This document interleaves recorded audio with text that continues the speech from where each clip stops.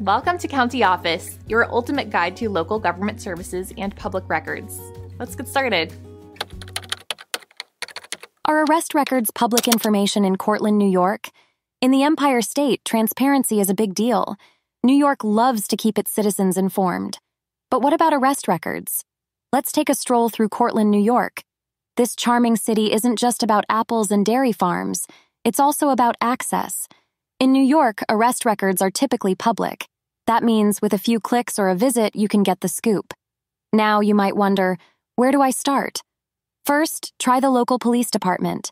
Cortland's finest maintain records that are often accessible. Next, swing by the courthouse. The Cortland County Courthouse is another hub for such information. They handle the legal side of things, after all.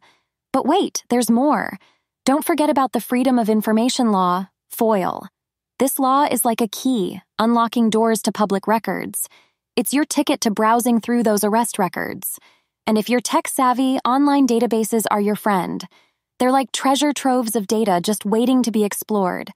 Remember, while New York is open about records, some exceptions exist. Not everything is out there for the taking. So when you're on the hunt, patience is a virtue. And if you hit a roadblock, don't fret. There are resources ready to assist you in your quest for knowledge.